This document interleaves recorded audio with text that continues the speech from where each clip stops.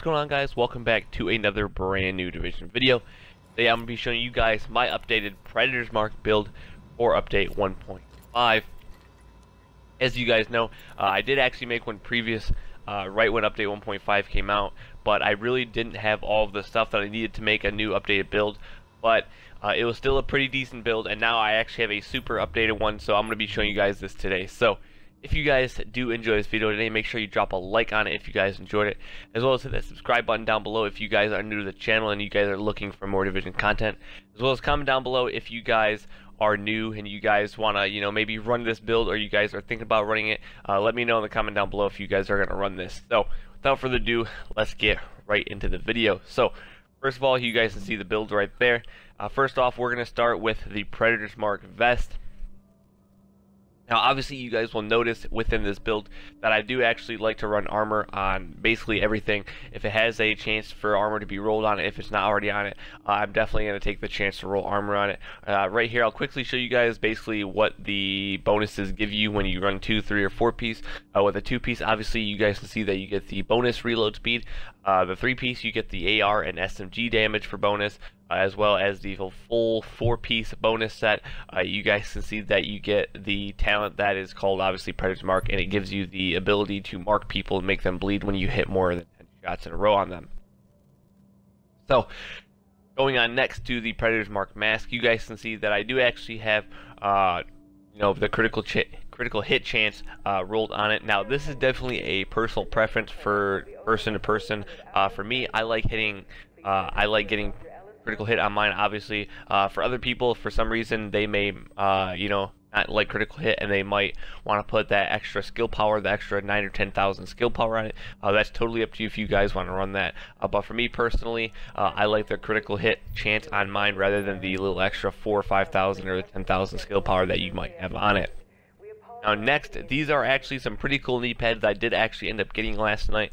Uh, you guys see that once again I do have armor rolled on it as well as they do have the stamina rolled on them well. Now the last part I want to note for you guys that you guys might not notice on the bottom, you guys can see that on the minor attributes, there's actually enemy armor damage on them. Uh, that's something new that actually ended up coming in update 1.5. Uh, prior to update 1.5, we never had enemy armor damage in the PvP, uh, so that's really, really cool that they added that in. And I didn't actually even notice that I had the armor damage on these knee pads because I do have armor uh, damage on my Banshee knee pads that you guys can see right there below that I don't have equipped. But I just thought it was really, really cool that I got lucky enough to get some of the new knee pads. Uh, next, we have the holster. This is the last Predator's Mark part of the build. and you guys see that, once again, I do have armor rolled on it. Uh, there's nothing really other to roll on that other than armor. So it'll be really cool uh, to see how this build works in the DZ. Uh, I think it'll be pretty good in the DZ, uh, but that is the last part of the Predator's Mark. You guys can see what the armor is. I'm not really sure what the max roll for that is, but I know it's pretty damn close if I had to say so. Now, going on to the two solo pieces that I have, um, I am actually running Savage Gloves, and the reason for that is the bonus that it gives you, the talent it gives you, as you guys can see right there. Uh, the major attributes, these are literally gloves that I bought from the DZ checkpoint, uh, I think, not last week's, but the week before that, so two weeks prior for the reset. And lastly, this part right here is the key to the build, guys. This is the key to like three or four different builds that you can run in this game. This is the specialized high-end backpack.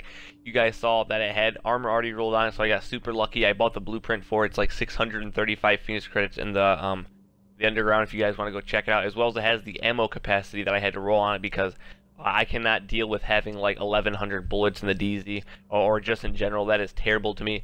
As you guys see what the specialized talent gives you, it adds 200% of your firearms and the uh, electronics together. So whatever that is uh, for your build, it's going to add that. So you guys can see what my build is overall, and it's a pretty pretty good uh, build if I had to say so myself. As well as you guys can see the uh, the rolls that I have my guns. These are the two guns I'm using. Uh, LVOAC that I just got a few days ago, as well as the MP5. You guys can see the rules right there. And then on the MP5, I have Brutal, Deadly, and Vicious on it. Uh, it's probably like one of the best MP5s in the game you can get for roll-wise. Uh, I think the damage for it is just under the max, so it's like just about one of the best MP5s in the game you can get. Uh, but yeah, guys, that is the build that is I am currently running for Predator's Mark. If you guys want to run this, uh, I'm, I'd, I'd recommend it. I think it's a really, really good build. Uh, but yeah, guys, if you guys enjoyed the video, make sure to drop a like, subscribe if you guys are new. I'll catch you guys in the next video. Peace out. Tell me pretty lies, look me in the face. Tell me that you love me, even if it's fake. Cause I don't fucking care.